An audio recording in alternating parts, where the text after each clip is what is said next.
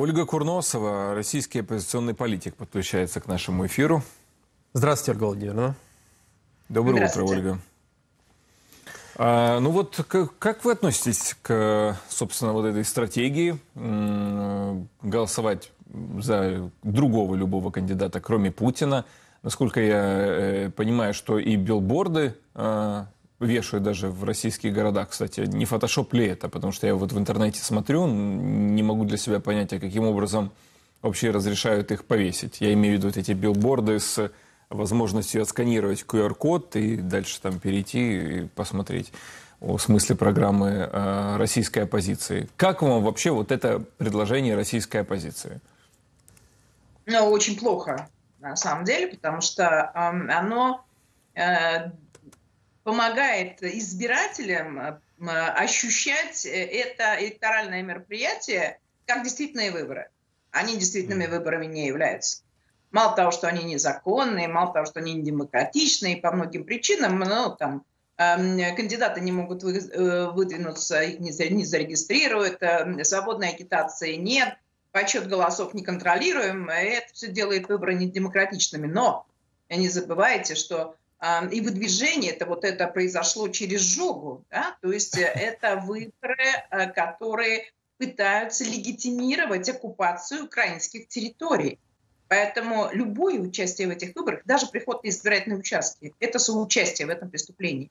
Потому что эти, это электоральное мероприятие, которое они называют выборами, это преступление. А, это легитимация захвата чужих территорий.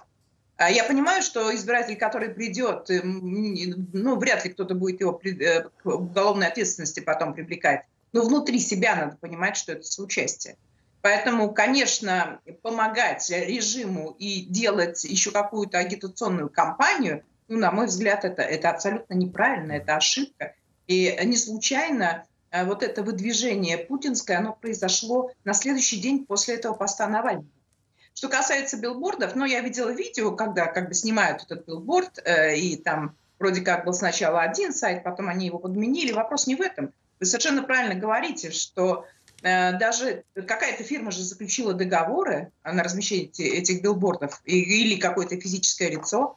То есть таким образом э, ну, просто туда придут полицейские и всех присажают. Это же понятно. Поэтому я, я вообще не понимаю, зачем и как это делать.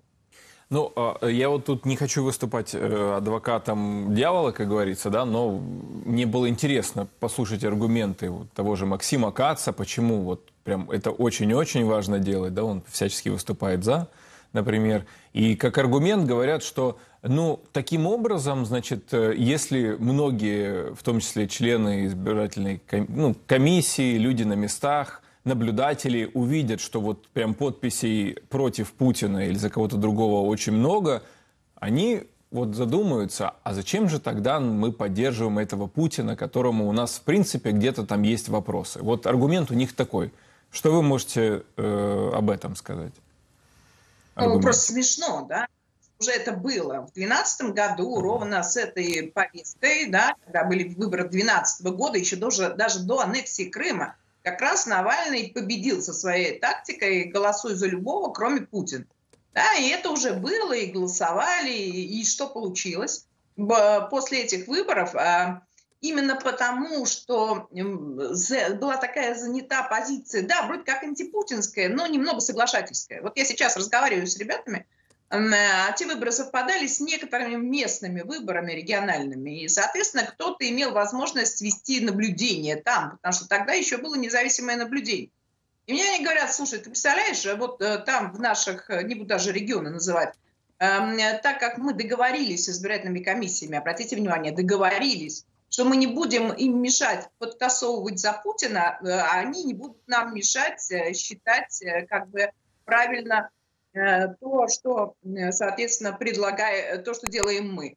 Да, и мы видели, что за Путина уже набросали больше 20% бюллетеней. Представляете, тогда, в далеком 2012 году, они говорят, что даже в наших регионах э, по-хорошему должен был быть второй тур. А сейчас вообще нет независимого наблюдения. Поэтому, а, собственно, тогда эта тактика не сработала. Почему она сейчас-то должна сработать? Просто даже несерьезно. Скажут, Я же не говорю про скажут война, да. скажут война, скажут, что война поменяла критическое настроение э, народа, и вот они не могут нигде сказать об этом, кроме как на выборах. Вот. Ну, я просто вам вот рассказываю аргументы, которые я слышал. Я их сам ставлю, честно говоря, под большое сомнение. Просто интересно, ну, конечно, с вами это а проговорить. Я скажу другой аргумент. Mm-hmm. 11 год выборы в Государственную Думу, как раз когда ну, многие люди в стране ужаснулись количеством фальсификаций, вышли на улицу, потребовали отмены результатов этого голосования. Действительно, были такие митинги, которых до этого страна не видела. Да, в Москве выходило больше 100 тысяч на улицу, в Петербурге 30 тысяч выходило, на... такого вообще не было. И что? И прошло совсем немного времени, и Путина прекрасно себе избрали.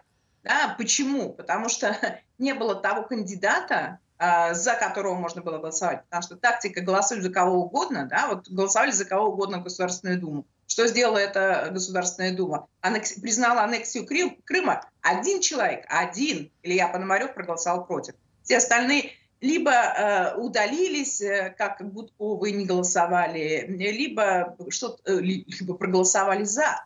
Да? Поэтому э, совершенно неработающая тактика, и история нам это уже подтвердила. Безусловно, активный бойкот, э, мне скажут, да ну, подумаешь, люди не придут, но тем не менее, э, даже если... Ведь они сами-то будут знать количество пришедших. И если количество пришедших, ну, например, будет около 50%, это для самой элиты будет говорить о том, а может быть, э, царь-то голый, а может, он не настоящий, а может, его народ-то не поддерживает.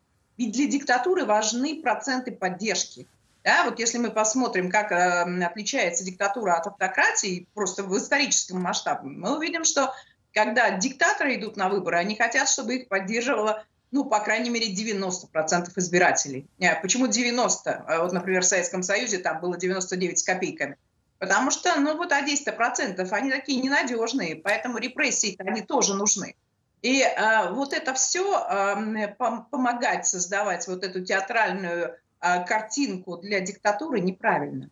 Да, Ольга Владимировна, мы вас услышали. Спасибо большое за это включение. Мы были очень рады, как обычно, с вами пообщаться. Ольга Курносова, российский оппозиционный политик, присоединялась к эфиру телеканала Freedom. Благодарим еще раз. Оперативные новости, эксклюзивные видео, аналитические обзоры. Freedom в Телеграм, только проверенная информация. Обязательно подпишитесь. Будьте в курсе всех событий. Ссылка на наш Телеграм в описании.